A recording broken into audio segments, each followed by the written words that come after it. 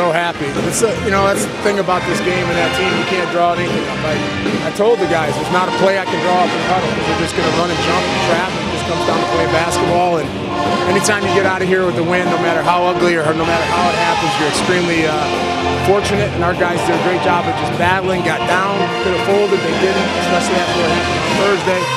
Uh, Carlos is 60% three-point shooter, makes the threes three. Damari played uh, really, really well. So uh, it's a beautiful win to me because this is this is a tough place for us to play. Yeah, I think yeah they just kept on battling. They got a lot at stake, you know. After what happened on Thursday, they want to be WAC champs, and you can't go on an 0 road trip, especially when you know you want to win in that first one. So uh, as I told them, it's, it's up to you guys. There's not a whole lot I can do over there. A coach and the team just traps and jumps, and you can't run a play. So it just comes down to playing basketball. And, guys made some big plays, and we finally started uh, getting some stops there in the second half. For a while there, we couldn't stop them. They were shooting 75%, 80%. Uh, it's hard to, to, to, get anything going when you can take the ball out of the basket. So uh, we did it on the defense, and our defense out. It's tough, and uh, especially in a game like this, because our bigs are guarding uh, small forwards. So it's tough for Ali and Michael to uh, to play in the guard out there. So uh, you know, our two heart and soul guys, Matt and, and Jared. Jared tried to go and just couldn't do it. So uh, with those two guys missing, it, it's tough, but we, we gutted it out. As I said, you know, Damari plays ends up playing 39 minutes and uh, really had a heck of a performance. Yeah, well, we got the right guy shooting them. You know, Damari's been a good three-point shooter. Uh, he was last year. Uh, Michael uh, has to find a way to get more shots. Oscar has started to come around, um, so that was good. And then Carlos with that big one, and Tim – uh, you know, hit a big uh, three for us, and that's one of his uh, things that he has to do for us is be able to spot up and, and make jumpers. So uh, that first half, that's what really kept us, uh, you know, got us that lead. Is that I think we were seven for 12 at three, and sometimes you just got to find a way, especially in a scrambling situation. You know, they're going to double ollie and not let anything go in the post, and you got to just make shots.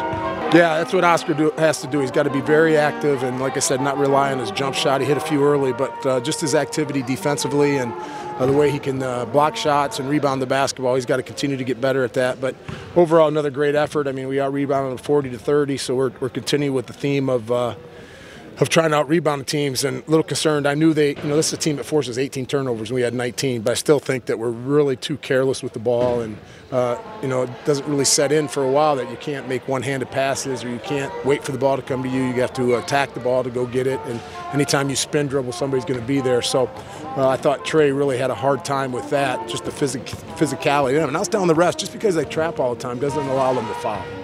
I mean, they're just in there trapping all the time, and they were fouling. And I, I, thought we got the raw end of that deal, but whatever. Well, they knew they knew that this was this was a game that we couldn't lose if if we had the dreams that we have and what we talked about last night. We had a great team meeting last night. Uh, after we got in, you know, a long day of travel, and uh, we got sat down and really had a heart to heart and talked about some things. And uh, these guys have been resilient all year long, and they, they listen to what I say, and I think they take it in. And uh, they showed here tonight. We knew this was going to be a tough game, and uh, it wasn't looking good there for a while. But our guys, I think, dug deep and uh, just found a way to win. So it just shows the character of our guys and how hard they play. No, Ollie's frustrated. He should be. It's, it's tough, and I ask a lot of him. I'm on him. Uh, he's guarding guys that are five inches tall or shorter than he is, and they they're quick. And I ask him to keep in front, and he's getting beat up down there. So uh, I feel for the kid, but I'm not going to stop pushing him. Uh, he's going to be fine. Uh, we just got to keep working on him. And as, as, I told him, when we throw that ball in the post and they double, just accept the double team and, and make plays for other people. But these type of games, they're hard to play. And it was like when we played LaSalle. It's just, you know, there's just so much trapping. It's just they, they want to, you know, speed up the game. They want to not take you out of your comfort zone, not let you run your plays. And they did a good job of it. I mean, he did a great job of, of coaching that team and uh, almost pulled off a, a, a, good win for him. That's one of the reasons why I recruited uh, Carlos and JJ. You know, JJ's red shirt, is that both those kids are extremely tough, not only physically but mentally.